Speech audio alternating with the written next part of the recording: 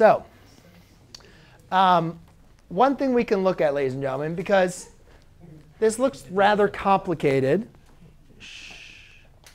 one thing we can also do is look for trigonometric functions that we can just multiply that would provide us to the other um, to the other side.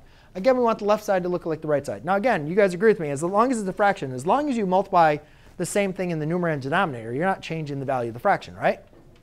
OK, so let's maybe think about maybe rather than instead of multiplying by the conjugate and then combining fractions, is there maybe something we could just multiply by? Like for instance, if I have a 1 and I want to get it to sine, what would I need to multiply by?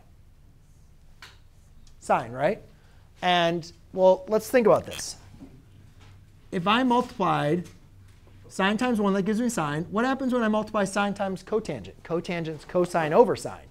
So sine times cotangent would give us cosine. So just by multiplying my numerator, I get that. So therefore, let's do it to the, the denominator, and let's see how close we can get here. So when I multiply this, I get sine of x plus, this turns into, I'll just write it out. Um,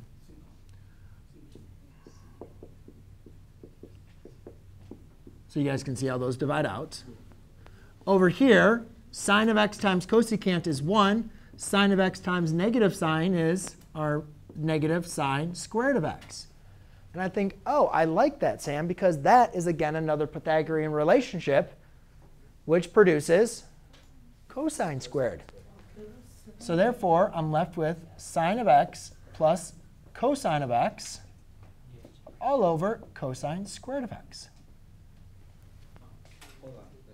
That wasn't that much work, right? But it was a lot easier, I think, than some of the other problems we've done, where we had to